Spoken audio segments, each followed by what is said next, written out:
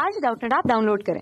Doubtnut पर अपने सभी गणित, रसायन विज्ञान, भौतिक विज्ञान और जीव विज्ञान के डाउट्स का करो सफाया। बस प्रश्न की फ़ोटो खींचो, एक ही प्रश्न को क्रॉप करो और तुरंत वीडियो सोल्यूशन पाओ।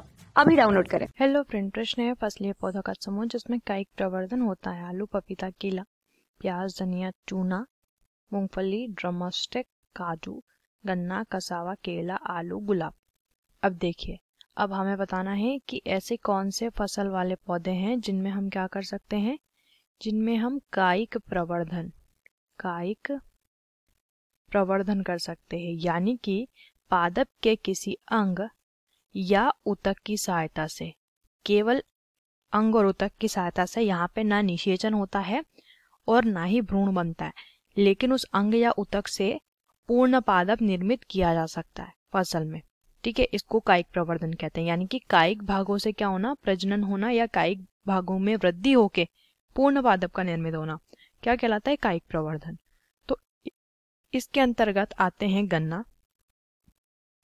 इसको ठीक से लिख लेते हैं। इसके अंतर्गत आता है गन्ना। ठीक है, कसावा। केला। ठीक है, आलू। और गुलाब। ठीक है।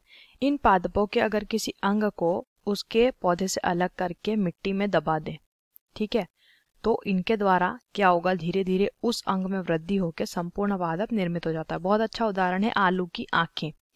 आलू की आँखों के नाम से जो उसके प्रवर्ध निकले होते हैं, उन प्रवर्धों को अगर मिट्टी में दबा दिया जाए तो उनसे भी आलू का पौधा बन जाता है और आलू उसमें निर्मित हो जाते हैं। तो पहला देखिए, आलू पपीता केला। पपीता में हम कायिक प्रवर्धन नहीं कर सकते। उसके बाद देखिए, प्याज, धनिया चुना। प्याज में हम कायिक प्रवर्धन नहीं करा सकते हैं। मूंगफली, ड्रमस्टिक और काजू। तो मूंगफली में भी कायिक प्रवर्धन नहीं होता, जबकि हमारे ऑप्शन डी वाले जो सारे पादप दिए हैं, उनमें हो सकता है क्या? कायिक प्रवर्धन। तो वो जो समूह सही होगा, वो होगा ऑप्शन डी वाला। आशा करते हैं आपको इस प्रश्न का उत्तर समझ आया होगा वीडियो को देखने के लिए। धन्यवाद।